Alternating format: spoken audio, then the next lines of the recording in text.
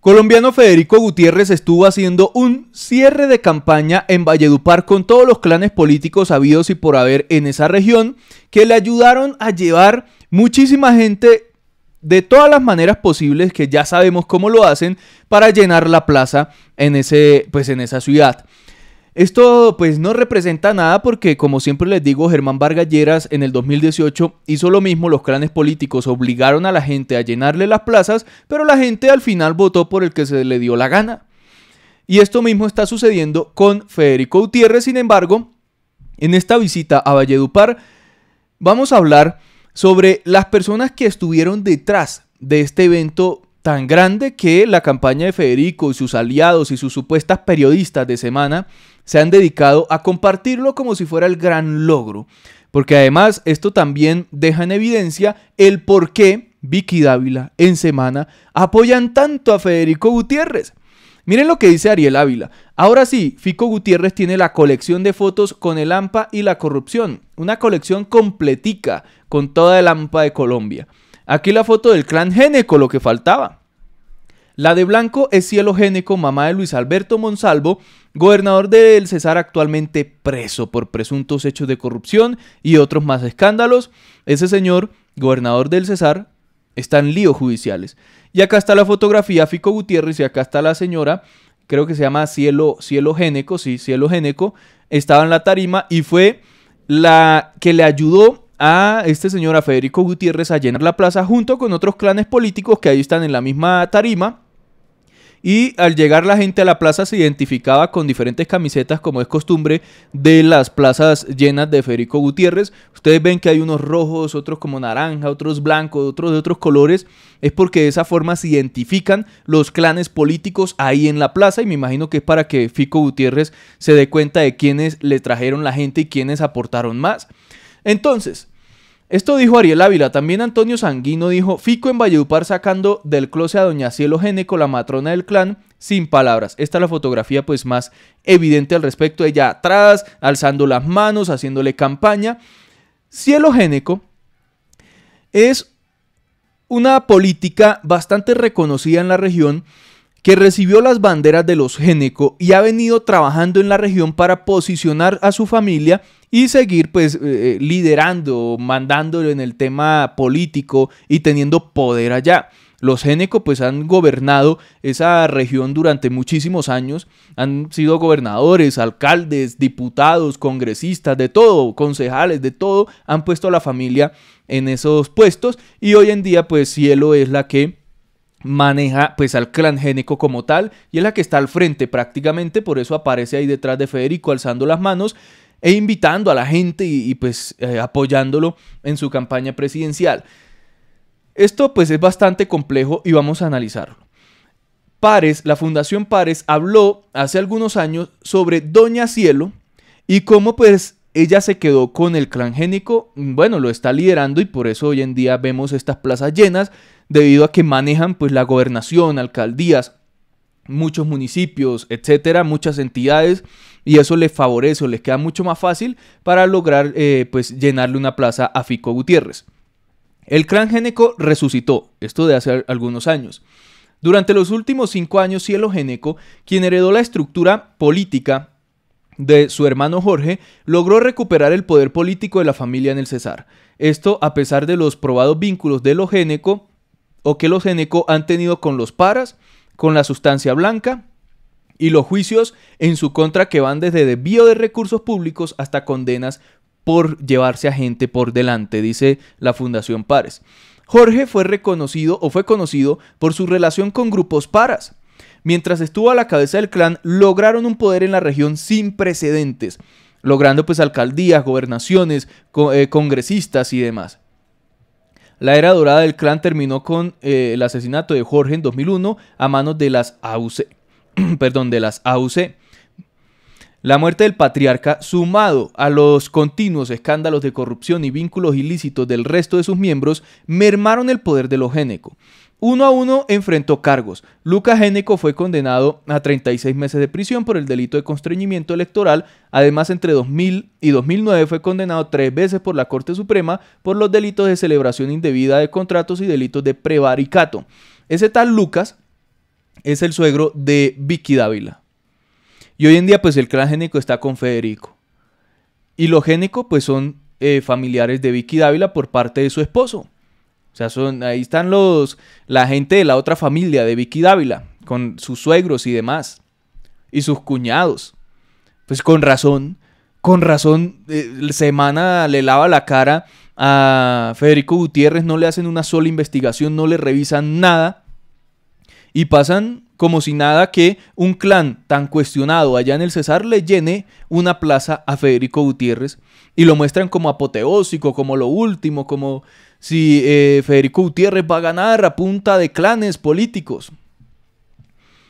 Hugo Geneco fue investigado por irregularidades en materia de contratación pública y fue extraditado en 2007 desde Venezuela por delitos asociados a defalcos en la administración pública cuando se desempeñó como alcalde de Santa Marta. Rafael Bolaño fue destituido como gobernador del Cesar por la Procuraduría. Esa familia, una joyita. Y hoy y en estos días, ayer andaba la señora que maneja ese clan alzando los brazos por Federico y ayudándole a llenar la plaza pública. Esto a pesar del más reciente escándalo, el primo hermano de Doña Cielo, Juan Francisco Kiko Gómez Serchar, el gobernador de La Guajira, fue señalado de ser parte de grupos criminales que controlan la sustancia blanca y el contrabando de gasolina en La Guajira y el Cesar, y en enero del 2017 fue condenado a 55 años de prisión por mm, el caso de Yandra eh, Brito, exalcaldesa de Barrancas, y Wilfredo Fonseca. Vean, ese, a ver, hace algunas semanas o meses ya prácticamente, apareció un supuesto audio de, ¿cómo es que se llama este señor? Ya se me fue el nombre. Em, Marquito Figueroa, supuestamente apoyando a Gustavo Petro. Y que supuestamente iba a salir el apoyo de Kiko Gómez y no sé qué. ¿Qué pasa? Hoy los Géneco que están apoyando a, a Federico y le llenan una plaza son familia de Kiko Gómez. Y Kiko Gómez era aliado o es aliado, socio de Marquitos Figueroa, el que supuestamente estaba apoyando a Petro. Unamos los puntos. ¿Quiénes son los que están detrás de quiénes? ¿Quiénes son los que hoy le llenan plazas a quiénes? ¿Quiénes son los que realmente le hacen política a quién? ¿Ah? Y sacaron ese supuesto audio. Eso parecía obviamente más una estrategia sucia a la que están acostumbrados de la campaña de Fico. Salen disque micrófonos, eh, infiltraciones supuestamente, cartas de las águilas negras supuestamente. En eso se la pasan. Y va uno a ver y nadie les cree por esto. ¿Quiénes son los verdaderos aliados de Marquito Figueroa desde que salía a apoyar a Petro? Vean, ahí está. Doña Cielo, la, la es prima hermana de Kiko Gómez, aliado de Marquito Figueroa.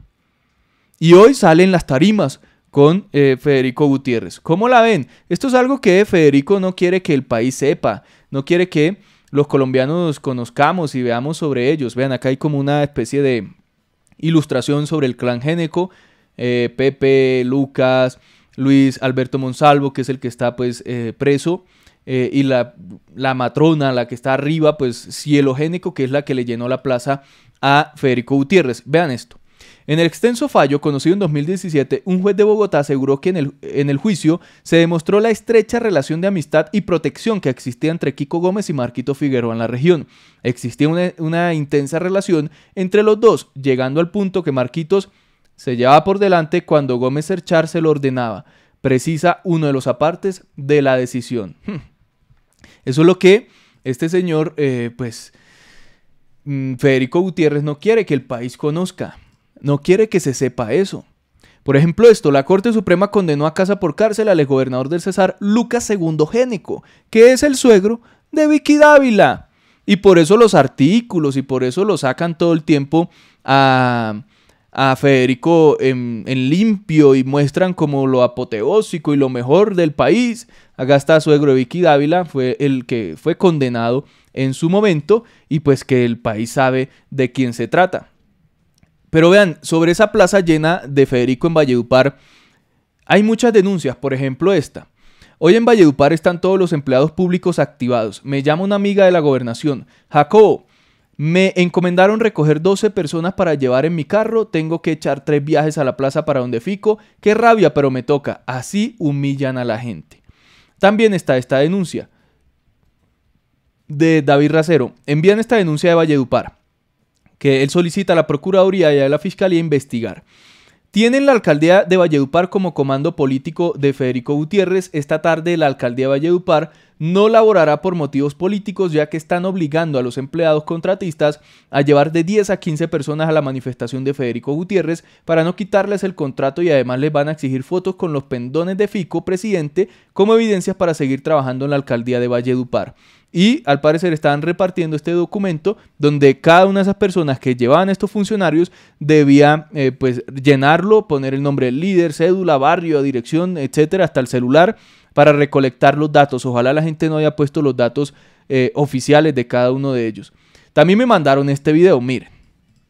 Bueno, estoy aquí con unas personas que se tapan la cara, ¿eh? fiquista, velo, fiquista, velo, eh pero no le gustó la vaina en la plaza, así que se van para su casa. Pero su corazón está en Petro, ¿sí o no? ¡Que viva Petro!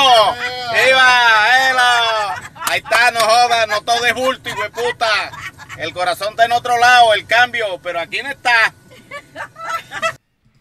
Eso es lo que realmente pasa, obligan a la gente a ir a, a esos lugares y pues la gente va por obligación, no porque quieran votar por él. Así que esas plazas de Federico no valen un centavo. Alfredo Saade. Me dicen que nadie entra a la Plaza Alfonso López hasta que no les paguen. En la Casa de la Cultura están revueltos los del senador porque no les han girado. Levántate, dice él. Supuestamente pues hay denuncia de que estarían pagando al parecer para llenar esas plazas. Y vean, estas son las plazas que llena Petro. Bucaramanga, totalmente llena, sin robarle fotos a Germán Vargalleras. Dice, derrocar el régimen de corrupción significa tener un pueblo libre. La gente llega sin obligarlos, sin pagarles, llenos de esperanza, pensando en un cambio para el país. Acá está el, evento de Petro. Vamos a escuchar un momento que dice. Es la posibilidad de que toda la juventud pueda ingresar a la universidad